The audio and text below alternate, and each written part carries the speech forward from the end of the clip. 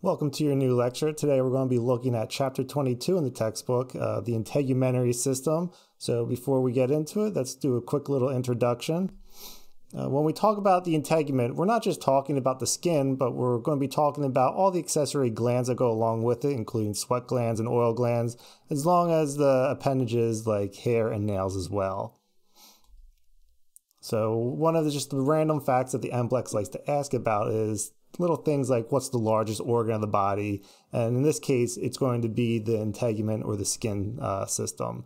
Uh, the largest internal organ or the largest visceral organ would be the liver, but the largest organ overall is going to be the skin. And it's going to be mostly connective tissue under a layer of epithelial tissue. If you remember, epithelial tissue is going to be tissue that covers uh, parts of the body. So in this case, we're covering the entire outer aspect of the body with our skin as far as the physiology, there's going to be a whole host of different things that the integument is responsible for. So we're going to go one by one through each of these and take a closer look. When we look at uh, protection, the skin's going to be your first line of defense against the entire environment around you. So the skin's going to act as a physical, biological, and chemical barrier uh, to the world around us. So that's going to include things like protecting us from uh, ultraviolet radiation from the sun. So there's UV rays that uh, hit us can cause damage to our DNA, as we saw when we looked at radiation in our cellular system. So the skin's going to try to prevent the breakdown of our DNA through the radiation of these UV uh, rays, particularly the UVB rays that the sun emits. Uh, it also prevents us from losing fluids. Our body is going to be around 70% water. So, in order to keep that water inside us, we're going to need a protective barrier that prevents water from escaping. So, there's going to be fatty, oily substances within our skin that act as that barrier because we know water and oil don't mix. So, it's not only going to keep water in, it's also going to keep water from um, coming out as well. So, one of the big things with people who suffer large burns over their entire bodies is besides having uh, a lack of barrier against pathogens, that it's very hard for them to maintain uh, a fluid balance because the fluid just leaks out of their open uh, burn wounds. And as I just said, it's also going to protect us from pathogens. So there's bacteria and viruses all over the place. So the skin's going to be our first line of defense in keeping them outside from inside our body. Uh, to do this, we're going to secrete uh, certain substances that inhibit pathogenic growth. Uh, we're going to look at the types of oil that our skin secretes. And together with sweat, this is going to create what we call an acid mantle. So there's going to be a thin covering of sweat and oil all over our body. And this is going to give our skin a lower pH, so a slightly acidic pH between about 4.5 to 6.2. So some most some bacteria aren't going to grow very well there. But not only that, if a bacteria does uh, acclimate to this low pH on our skin, if it gets into our blood, which is alkaline, so it's going to be above seven on the pH scale, it's not going to be suited for an alkaline environment. So the bacteria on our skin doesn't live very well uh, if it gets into our blood, and that's uh, very important not to get uh, an infection in the blood. The skin's also good for absorption. So there's many things skin can absorb. If you can see in these group of three here, we have a bunch of fat soluble molecules and vitamins. And uh, steroids are also going to be uh, created with uh, fatty acids as well. So as we said, uh, the oil in our skin is going to keep water uh, from getting in and out. So because we have this fatty barrier, things made of fat are going to be able to uh, penetrate or absorb much more easily through that layer. Uh, along with that, certain heavy metals can pass through our skin, like lead, mercury, and nickel. So here we have a picture from Alice in Wonderland. And the whole reason that the Mad Hatter was crazy is because back in the day, uh, the way they used to make these hats was with uh, mercury. And uh, these workers working around mercury and wearing the hats for so long, the mercury would seep through the uh, dermis of their skull and eventually penetrate into the bloodstream and cause uh, poisoning of the nervous system. And you see the same thing with Flint, Michigan, with lead in the water, people taking showers and lead uh, not being safe as well. Not only that, they were uh, ingesting it too, which is even worse. There's going to be certain resins from uh, plants like poison ivy. Uh, the typical, the type of, there's a certain type of oil called the uh, urushiol uh, induced contact dermatitis. So when you get poison ivy and you get that classic rash, itchy rash, that's what's going to be caused by this certain type of dermatitis. And if you remember, derma means skin, and itis is going to mean inflammation. So lots of rashes are going to cause a dermatitis. And lastly, uh, because the skin can absorb certain uh, molecules or chemicals, uh, we're going to use that as a way of um, taking certain types of drugs. So here we can see a fentanyl patch, so we can take opioids through the skin. Uh, we've heard of nicotine patches or birth control patches. Uh, those are the more classic examples. It's not easy to get a ju- uh, drug to penetrate through the skin, so there aren't a lot of drug patches, but there's a whole host of benefits from being able to get the drug delivered directly to the skin. One, you don't need to do needles. Uh, you don't need to ingest it whenever you take a drug uh, through your digestive system. Not only is the stomach acid going to break it down, but it also is going to pass through the liver before it gets into the bloodstream. So the liver is going to break down a lot of the chemicals as well. So uh, patches or transdermal medications are going to uh, kind of bypass all those drawbacks. Uh, when we talk about massage, um, if you come across a transdermal patch, the general rule is that you want to stay about uh, six inches radius around the patch.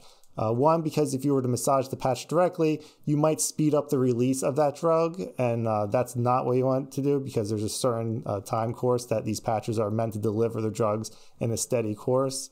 Uh, but also the oil or lubricant that we're using is going to uh, possibly mess up the adhesiveness on this patch. And if it were to come uh, off of the skin, uh, you would affect the drug delivery as well. So better safe to be sorry if say if it's on the arm, like in this case, this is going to be the anterior part of the biceps, I would just skip the entire uh, upper arm area to avoid any uh, complications. The skin's also going to be used for vitamin D synthesis as those UV rays hit our skin, there's going to be a chemical pathway that the body's going to uh, perform to turn that into vitamin D. It's more complicated, we know, but the idea is that you do want to expose your uh, bare skin to uh, a certain amount of sunlight per day. I think the latest recommendations are about 10 to 30 minutes uh, a day, at least a couple days a week. Uh, part of the reason why I gave myself a nice little haircut with this quarantine, I'm not really going outside a whole lot. So when I do, I'm getting a little bit extra UV rays on the top of my head.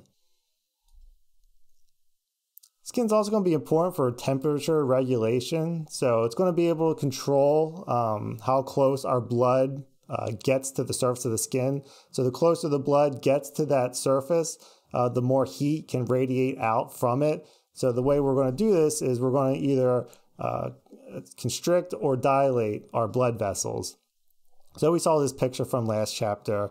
Again, the dark red and green areas signify uh, higher temperatures, whereas the lower uh, green or purple regions are going to be colder temperatures. So I don't remember if I said last time, but this particular person in this picture actually has a, a sympathetic nervous system disorder where their autonomic nervous system doesn't work properly in these bright red limbs and because their autonomic nervous system doesn't work, it can't tell those blood vessels to uh, dilate or to constrict. So in this case, they can't dissipate that heat in these uh, arm and upper chest region, and that's why it's so hot here. This person physically can't sweat.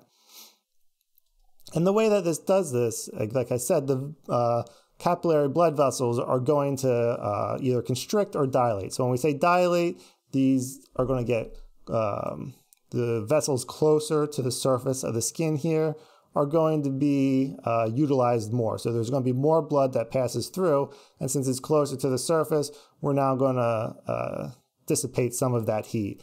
Whereas when it's cold outside, there's going to be little sphincters in these uh, distal capillaries here, and they're going to kind of um, block off access to the blood to the uh, surface of the body, and they're going to open up this little shunt that exists between this arteriole and this uh, venule and this is going to keep the blood from getting too close to the surface of the body. So we're going to conserve heat when it's cold outside, and when it's hot, we're going to allow that blood closer to the surface so that we can dissipate some of the heat. And this is going to work well because one, this means we don't need to sweat to give off, uh, to cool down a little bit. And when you're not sweating, we're not losing uh, important water to keep us hydrated. Uh, so this is going to work well so long as the outside environment um, isn't too hot. Skin's also important for sensation, so we're going to have a whole host of different nerve endings embedded within our dermis and epidermis that are going to allow us to uh, sense different types of touch. So that can either be fine or blunt touch, uh, different levels of pressure, whether that be deep or uh, very superficial and light, Uh, we can sense temperature really well, as well as movement with on the body. So you can feel a little uh, ant crawling on your arm, and as well as vibration. So we're going to go over the different types of uh, touch receptors at the end of this lecture and uh, all their uh, properties that uh, exist. The skin's also used uh, in a minor role with excretion, so uh, getting different chemicals or molecules out of the body. This is going to be done mostly through sweat. So when we talk about sweat, it's uh, almost all water, but there will be some trace um, minerals, lactic acid, urea. So the way that uh, sweat works, here we're going to have a sweat gland down here, and there's going to be these capillaries that pass through it. And we didn't go over the cardiovascular system yet, but the way uh, blood works is it's going to be a bunch of blood cells um, floating within a plasma solution. And plasma is basically going to be water with dissolved solutes in it. And as this plasma with blood passes through the sweat gland, the plasma can diffuse out of it and enter into the sweat gland. And then it's going to go up to the outside of the skin. And then we're going to have our sweat released to the uh, cutaneous surface where it's going to be evaporated. And that evaporation is going to be what cools off the body. So looking at the different layers of the skin then, we're going to start at the most superficial and start working our way down. And that's going to begin with the epidermis. If you remember, epi means upon, dermis is going to mean skin. So this is the outer layer of the skin and it's going to be made of mostly epithelial tissues. So here in this picture, our epidermis is going to be this dark pink area and everything above it. Uh, it's going to be avascular. If you remember epithelial tissue, is going to be very thin and only so many cell layers thick. So there's not going to be a lot of room for capillaries or um, blood to pass through. So it's going to get its nutrients to that underlying dermis. And if you remember, it's going to attach itself to that basement membrane. So here we can follow the basement membrane all the way around the uh, basal part of the epidermis. And so there's going to be five uh, distinct layers to the epidermis. So on our thick skins, like on our hands and soles of the feet, we have five layers.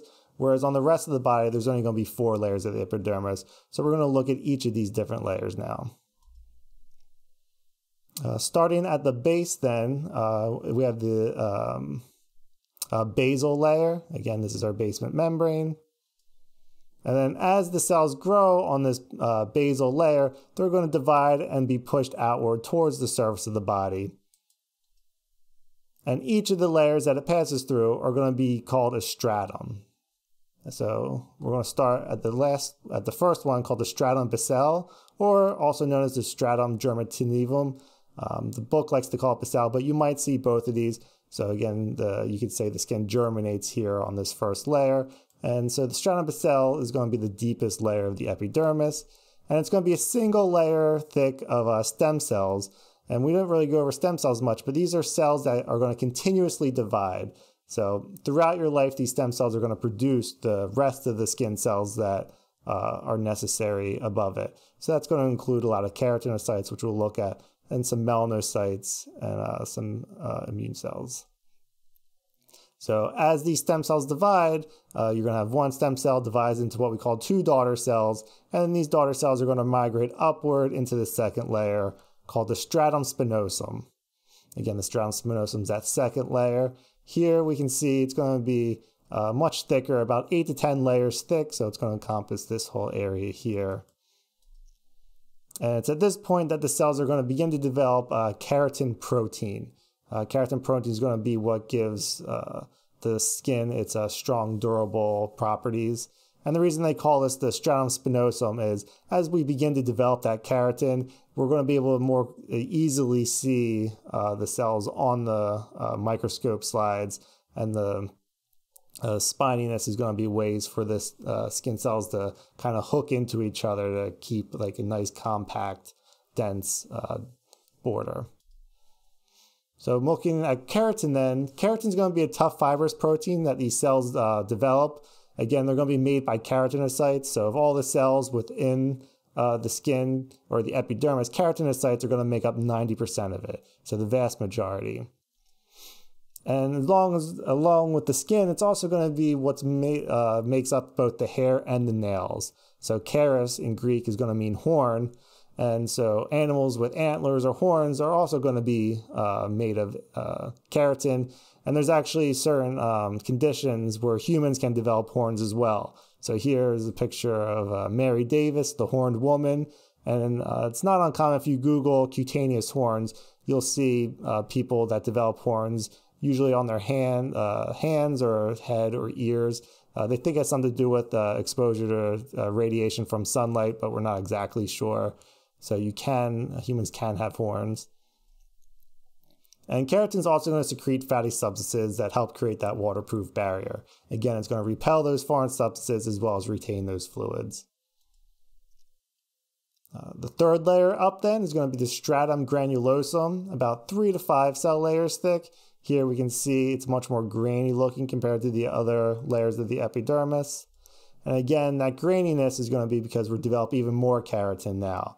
So at this point, the cells are going to begin to lose all their other organelles. So the nucleus is going to go away. Other organelles are going to go away because the fate of these cells is to basically just die and sit on top of the skin to protect us. So we're not going to need all these organelles utilizing energy anymore. So we're just going to create more space for the keratin and uh, get rid of the organelles. And again, that granular appearance is because there's more fibrous proteins, uh, keratin in particular. Going up then is going to be that fourth layer that you only find in the hands and the feet. So this is going to be what gives uh, the soles and the palms their uh, thicker appearance. So it's called lucidum because it's going to be smooth and lucid. Lucid meaning uh, it's kind of somewhat transparent. And this has to do be, uh, with uh, the proteins that are rich in lipids give it a clear appearance. So again, you only find this in uh, the thick skin on the hands and feet and the fingers. And then finally, we had that fifth layer, the outermost layer called the stratum corneum, sometimes called the horny layer. And here is where we have the real thickness of the epidermis, where it's 15 to 30 layers thick. And it's going to be uh, made of uh, flattened dead keratinized cells. So now all these cells that were once alive and dividing down here have basically lost all their organelles, uh, ceased all cellular activity, and now they're just dead and protective. Uh, this whole process takes uh, roughly around a month to complete. So from uh, first daughter cells to when we've uh, sloughed it off uh, constantly at the very end of the superficial end of the epidermis. And like I said, we're going to continuously shed these dead skin cells. And this is actually what the dust in your house is mostly made of, is dead skin cells. So if you ever feel lonely in your quarantine, you can just uh, remember all the dust mites that are living with you that uh, you're generously feeding each day with your dead skin cells. Moving down from the epidermis, then uh, we have the what we call the true skin, or just the dermis. Uh, what we call the true skin because this is basically where all the uh, really important functions happen. So we know that there's no blood vessels or not many nerves in the epidermis. So the dermis is going to be where you find all these other uh, accessory organs like uh, blood vessels, capillaries, sweat glands, hair follicles, uh, touch receptors.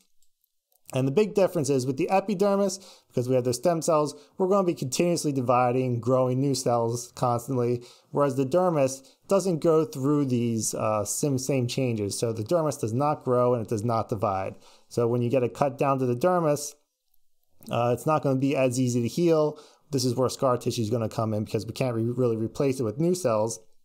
We're just going to lay down that new uh, scar tissue and uh, heal that wound that way. You'll also notice that the epidermis and dermis don't exist uh, like in a flat line. There's going to be what we call these epidermal ridges.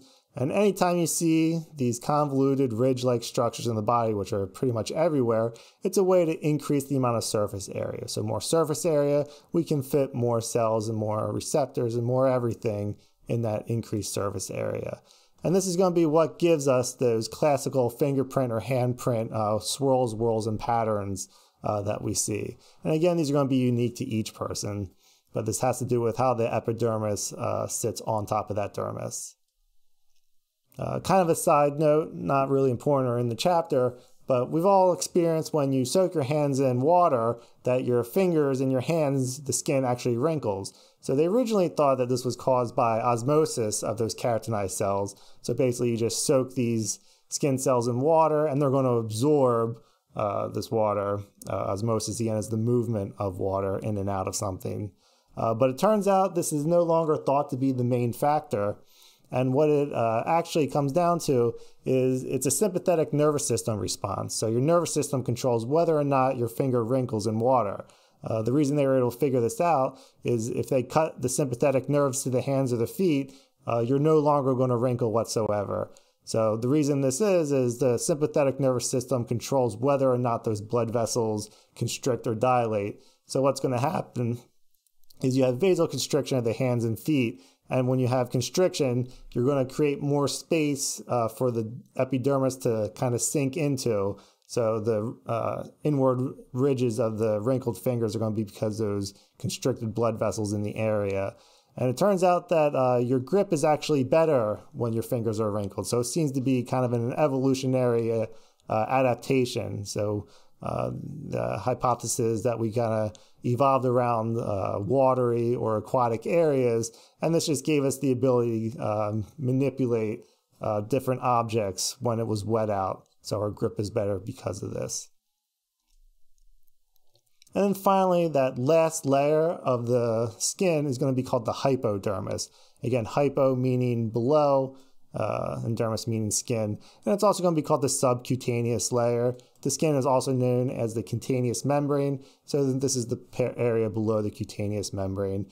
And you're going to find the loose connective tissue. Uh, we also call it the areolar tissue in this hypodermis. You'll also find receptors and blood vessels here as well, similar to the dermis. But this is where we're going to store our adipose tissue. So adipose, like we said, is going to be a way to uh, retain, retain heat as well as um, storing energy and cushioning as well. So it's going to be good to have uh, this padding in this little area. I was actually watching a PBS Nova special about fat just the other day, and there was a disease where somebody basically couldn't store any fat. He was like 2% body fat, and just the act of walking and standing hurt his heel so much because he was lacking any cushion between his skin and bones.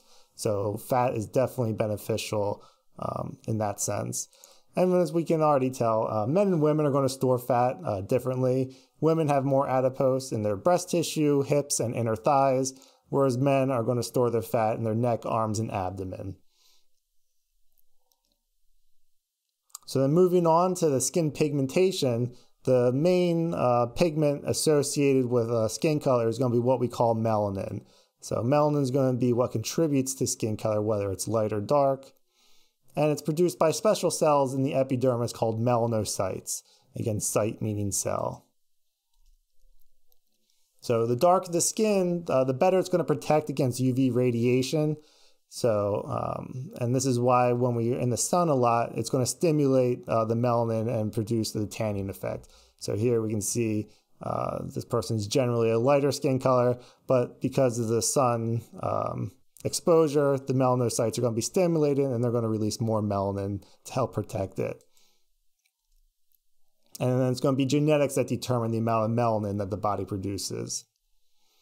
So we can see, uh, since it's going to be a protective against sunlight, uh, we can pretty much judge, depending on uh, the ethnicity of the person, uh, where they uh, came from, because depending if they're closer to the equator, uh, there's more sunlight. So people closer to the equator or ethnicities closer to the equator are going to have darker skin because near the equator there's uh, 12 hours of sunlight so they're going to need extra protection from that uv radiation as you move further away from the equator you get less days of sunlight and that's what we're looking at this map here uh, down here in the orange uh, we have uh, 25 uh, hours per 2500 hours per year of sunlight whereas up in the scandinavian countries, countries we have even half that so as you move more north you don't want to be uh, darker skinned anymore because you need to be able to absorb vitamin D more easily.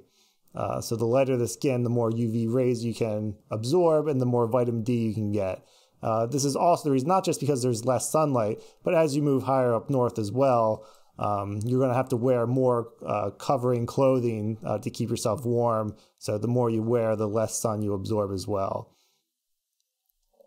So again, areas less in sunlight, you're going to have lighter skin, and that's to help uh, with vitamin D absorption. So again, another evolutionary adaptation depending on uh, where in the world uh, you're from.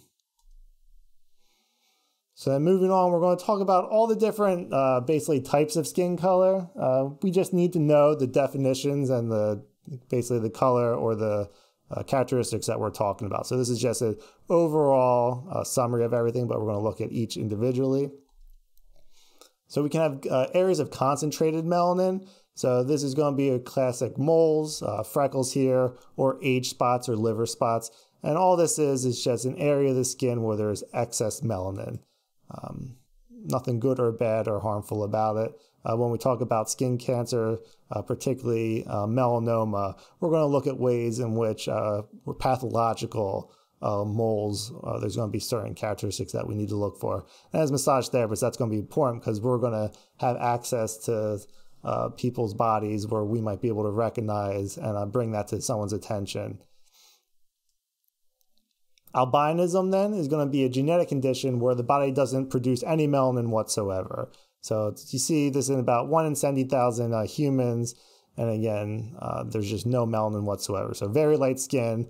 Uh, their hair will be uh, bleach white as well. And uh, also their eyes uh, aren't going to have any color whatsoever. Generally, they're either going to be blue eyes or a lot of times you'll see a reddish tint to them. And the reason that you're going to see red is because it's the blood in the back of the pupils that's actually showing through. And it's not just humans that can have albinism, every animal uh, as well can have albinism. So here is an albino alligator. Uh, there's some albino deer you can see kind of running around every once in a while in our uh, neighborhoods. Vitiligo then is going to be when you have a partial or total loss of skin pigmentation. So here we have somebody with darker skin and because they have vitiligo, they're going to start to lose uh, this pigmentation. Their skin's going to become lighter. So Michael Jackson's going to probably be one of the most famous examples of somebody with vitiligo, how he went from dark skin to eventually uh, completely light skin, uh, with some medical uh, probably help there as well. Melasma is going to be um, when that you have uh, grayish or brown patches. And the reason I just bring this up with a pregnancy massage uh, or pregnancy in general, you're going to see what we call linea nigra. So linea is a line, nigra is uh, black or dark. And this is when the hormones uh, due to pregnancy are going to cause this uh, dark line to show up on the uh, medial aspect of the anterior abdomen. You can also get something called a pregnancy mask where your cheeks get uh, darker colors as well. Uh, you can have an orange tint to the skin uh, due to carotene uh, uh in your diet or in genetics, so it's a yellow golden color. Uh, you can see this mostly in Asian populations, but like I said, you can also get it from ex excessive carotene in the diet. And when we say excessive, uh, very, very large amount. So you really have to try hard to get carotenemia, again, emia being blood. So here in this picture, the, the nose you can see is going to be more orange than it should be. Red colored skin is just going to be in hyperemic response, so excess blood flow to the surface of the skin. So we see this uh, when you blush, whether it's from overheating and you're trying to dissipate heat, or through emotional reasons. And uh, the hyperemic response is very common uh, with massage. When you're working an area, you're going to stimulate blood flow to those superficial uh, parts of the skin as well. So it's normal to see the skin redden um, after you've uh, worked the area, even just for a little bit. And some people are going to have a much more uh, uh, responsive hyperemic response than others. The opposite of that then is going to be cyanosis. And this is going to be caused by a lack of oxygen, uh, associated also with a lack of blood flow. So here we're going to look at a condition called uh, syndrome, where you have vasoconstriction within the fingertips and the toes. And eventually you're going to end up with uh, blue purple fingertips because due to the lack of oxygen. Uh, but before you get to that point, oh, again, this is going to be, again, cyanosis, cyan for blue. So cyanosis is going to be associated with blue or purple color. And then before you get to that stage, you'll have paler or paleness. And this is also going to be a sign of anemia. So lack of blood or lack of red blood cells in the area. And you're not going to uh, have any kind of that flushing color. And you can see this when you take your finger and you squeeze it, you'll see it uh, turn white. And then as the blood comes back to it, it'll fill back up with a nice red uh, color. So same idea, just in certain people, especially anemic people, uh, they'll have more of a paler uh, shade to them. And then lastly, we have jaundice. Jaundice is going to be a yellowing of the skin. Uh, and when we talk about the digestive system and liver disorders, this is going to be caused by uh, excess bilirubin. Uh, it's going to be easiest to see if somebody's jaundice in the whites of their eyes first. So if their eyes start to look yellow, uh, they're at the beginning stages of jaundice. You also see this in newborns. After a baby's born, they're not going to be able to process the bilirubin. Uh, their system hasn't really come online yet to do this. And then to help uh, these newborns that are jaundiced, they're going to actually put them in an artificial sunlight uh, area because uh, the the UV rays are actually going to shine through the skin and start breaking down that bilirubin.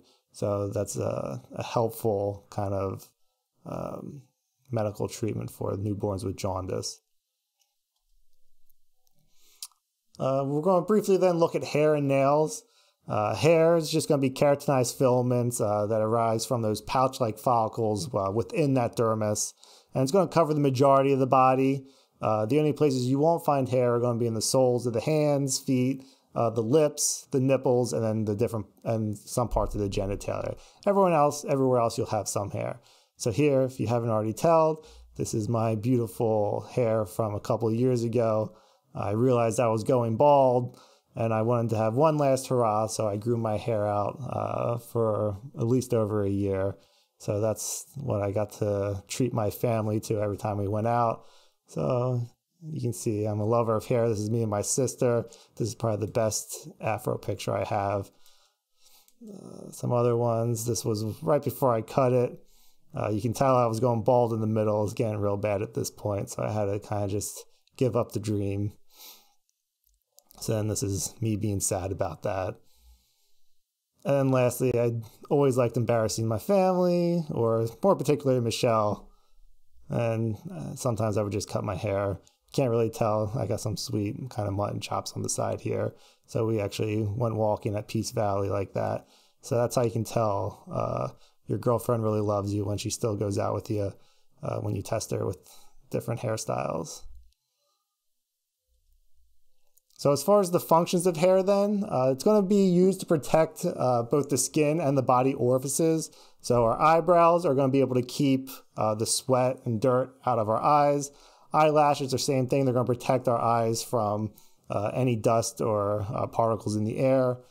We have hair in both our nose and our ears. And again, that's to protect just these openings uh, to the internal surface, internal parts of the body. Uh, it also increases our sensitive touch. So whenever you have something kind of hit that shaft of the hair, it's going to stimulate those touch receptors as well. So this is again what allows you to feel those small little creepy crawly things on you sometimes, and you can knock them off before they bite you.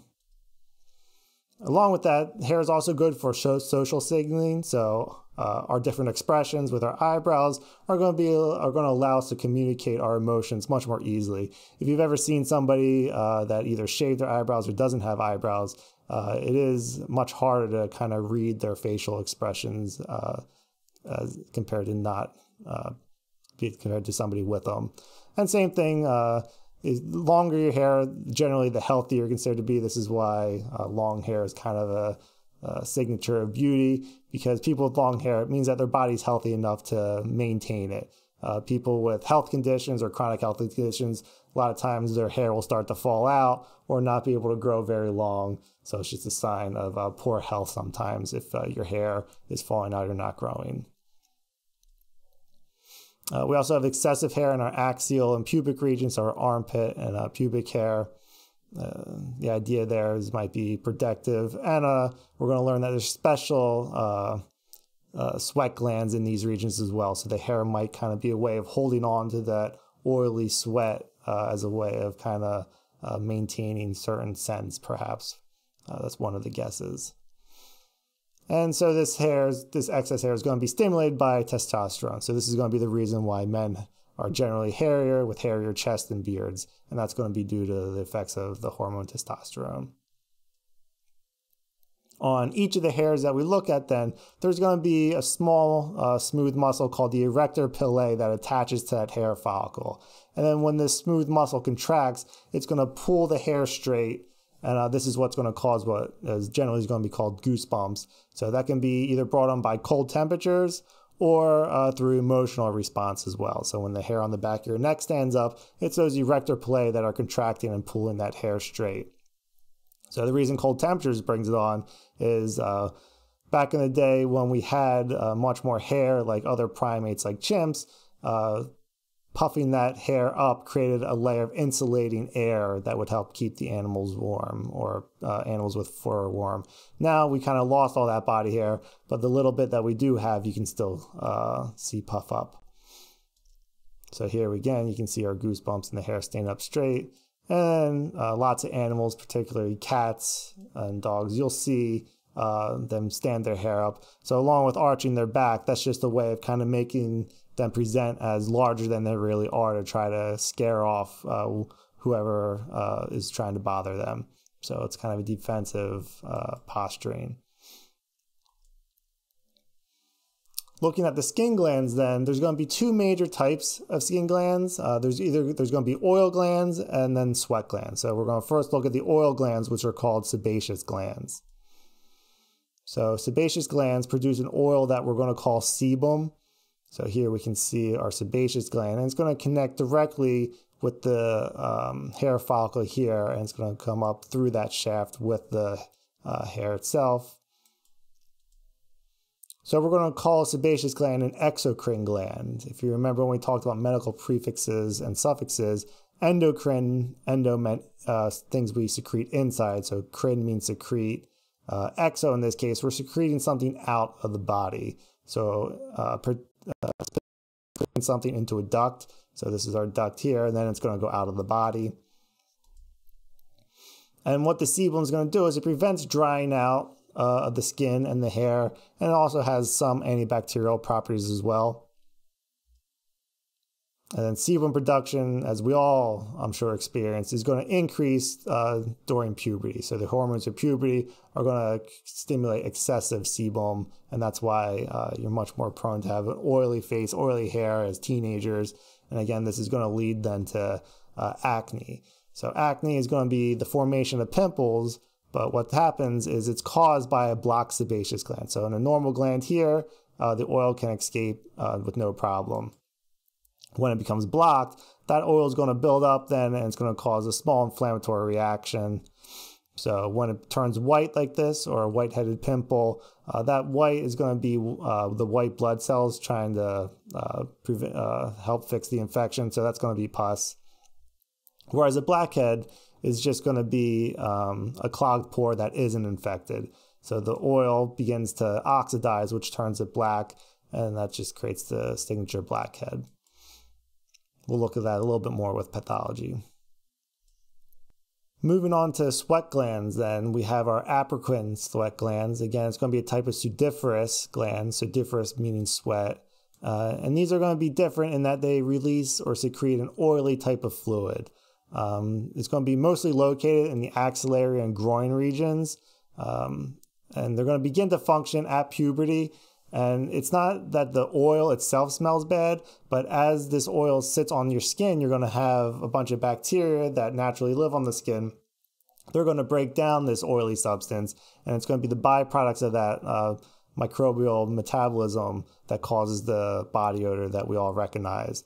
Um, possibly, uh, these oily fluids may act as a pheromone. So, pheromone is going to be a chemical signal that a lot of different animals use to kind of signify uh, communicate with other animals. Uh, no one's really sure if humans are sensitive to pheromones or whether or not we even release them. Um, as far as the brain research, they're not really sure if the olfactory bulb or the part of the brain that typically senses uh, pheromones in other animals, uh, it's, it's much smaller in humans, and uh, whether I don't even know if this really existed. I had a teacher that studied pheromones, and he didn't seem too confident in them. But I know people go back and forth on that. So uh, the apocrines may be associated with pheromone communication. There's other types of specialized apocrine glands. The ones I want you to know are going to be the ceruminous glands. Uh, these are going to be the glands within the ear canal that produce earwax. So the technical name for earwax is cerumen, and here you can see the small glands here in the ear canal, and that's where the earwax is going to come from. And again, earwax is going to be a protective mechanism to keep uh, things from crawling into your ears. Um, my wife's uncle worked in an ER for a long time. And he said at least once a week uh, he'd have somebody come in with a bug that crawled in their ear while they were sleeping. So it's always good to have a little bit of wax in your ear. And again, you don't want to use those Q-tips. I know it says that warned on every piece of Q-tip, uh, not stick anything in your ears, and everyone does. But ideally, uh, you shouldn't, uh, particularly because you can help, you can kind of compact it down in there more and make things worse. So you should just wash around the outside of the ear with water, and that should be enough. You'll also find apocrine glands in areas like the areola or nipples of the breast, uh, the parts of the eyelids, and some nostrils. Don't worry about that one, but they do exist in other places. And then the sweat glands that we usually associate with sweat are going to be called the eccrine sweat glands. And these are going to be what secrete sweat directly onto the surface of the skin. And it's this sweat that's going to evaporate and help cool the body off. So the eccrine sweat glands are going to be used for uh, thermoregulation. Briefly, I'll just kind of introduce nails. Um, MBLEX, I don't think has ever asked anything about nails, uh, so I'll just kind of introduce the different terms for it, but I'm not going to ask anything on the test. But nails are going to be compact, again, keratinized epidermal cells that protect the tips of the fingers and toes, kind of help give it uh, our shape as well. So whenever you see the nail root, anytime you see root in anatomy, it's going to be the area uh, where things kind of grow out of. So this is going to be the site of growth of the nail. Uh, the nail bed is going to be the whole uh, middle part, the pink area. Uh, the cuticle is part of the stratum corneum, so the outside the epidermis that overlaps the bottom part of the nail. And then the luna, anytime you see luna, it's going to be something moon shaped. So in this case, it's the crescent shaped white area at the base of the nail. And then finally, we're going to talk about those skin receptors. So, because skin receptors are part of the nervous system, their job is to sense uh, the different parts of the environment that are touching uh, or making contact with our body. So, when we talk about touch, it's the ability to perceive things through physical contact. And obviously, as massage therapists, this is going to be uh, vital to how we work with our clients, understanding touch. So, what happens is each of these different receptors, uh, like I said, some detect vibration, pressure, temperature. All of them are going to send information to a specific part of the brain called the somatosensory cortex. So soma is going to mean body, sensory is uh, what we sense, and cortex is just certain areas of the brain that we're talking about. And what the somatosensory cortex is interesting about it is it's going to represent the whole body on the part of the cortical tissue within that brain. So what we mean by that is this part of the brain, if we were to stimulate with an electrode, and people have done this experiment when they were getting seizure uh, surgeries uh, many decades ago, they would put an electrode on this particular cell on the somatosensory cortex. And since the person's awake during brain surgery, because they need to be able to communicate with the doctor if they're doing something uh, wrong, the, they can say, Oh, I sense someone touching my tongue. Or if we were to touch here on the hand, uh, with an electrode, they would feel something on their hand. So they were able to map out the entire somatosensory cortex uh, with these electrodes, and this is what they come with. And you'll notice that the hand and thumb are much bigger than, say, the leg here, and that's because the areas of the body that are very sensitive are going to have more brain real estate um, to kind of allow for that increased amount of sensitivity. So things like the tongue, um, the tongue, nose, lips, hands are going to be much more sensitive. And the, uh, we can kind of draw this out in what uh, scientists are going to call the homunculus. The homunculus is going to be a visual representation of that somatosensory cortex. So if we were to look like how our skin receptors uh, sense the world, our hands would be gigantic because of how much sensory information comes through them. Same thing with our lips, ears, genitals. Uh, these are going to be the much more sensitive areas. So we call this the homunculus. And then we're going to talk about a couple of the particular uh, touch receptors. So in this case, the Meissner corpuscle is going to be what detects light pressure. So when you're doing those nerve strokes that not a lot of people seem to like, those are going to be what are stimulate the Meissner corpuscle, corpuscles. So that's going to be good for fine discriminating touch. So when a blind person is learning to read Braille, they're going to be stimulating those Meissner corpuscles, and that's what's going to allow them to be able to uh, pick up those discriminating little bumps on the paper. So you're going to find these most numerous in the hairless skin. So again, hairless is going to be on the soles of the hands and the feet.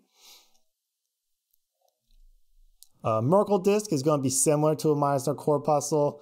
Uh, it's also going to sense pressure, uh, but it's just less sensitive and slower adapting. So with a Meissner corpuscle, you're going to feel things uh, much more quickly. But with a Merkel disc, uh, you're going to be able to sense things for a longer amount of time. So I've been holding this pen this whole time, and I can still feel it in my hand. And that's going to be part of the job of the Merkel disc to uh, let me know that I'm still holding something or still touching something. Uh, Pacinian corpuscle, what I want you to know about that is this is going to be the receptor that's responsible for deep pressure. So when we're doing deep tissue massage, we're going to be uh, particularly stimulating these Pacinian corpuscles. Uh, they're also going to respond to high frequency vibration, but on the test, I'll have a matching section and I want you to know Pacinian is deep pressure. And someone kind of gave a helpful hint for remembering Pacinian's like Pacific and Pacific's the deepest ocean. So Pacinian corpuscle is uh, registering deep pressure. A Ruffini corpuscle is going to be a dermal stretch receptor. Uh, the book doesn't really get into this. I don't know a lot about the Ruffini, so I'm not going to answer a lot of questions. But the idea is if you see Ruffini corpuscle uh, on the MBLEX, just think, oh, we're talking touch receptors. And that amount of information should be enough to get you to get the correct answer. So just know Ruffini corpuscle is also a touch receptor found in the skin. And some other ones, a thermoreceptors, we'll talk about the nervous system section, but thermo means that they're going to sense temperature. And a Krause corpuscle is particularly going to be uh, able to sense cold temperature. So when you see Krause corpuscle, it's sensing cold temperature. So that's it for this chapter. Uh, luckily, nothing like the sliding filament theory. Uh, no, no uh, really complicated pathology. So a lot of definitional stuff. And again, on Monday, we'll go over the different pathologies. Again, pathology is going to be super important for massage therapists because we don't want to touch something on somebody's skin. We want to be able to recognize uh, if something's dangerous before um, we touch it. So we're going to spend a lot of time looking at all the different contagious pathologies. So I'll try to keep the gross pictures to a minimum. Uh, again, use the discussion board on Blackboard if you have any questions.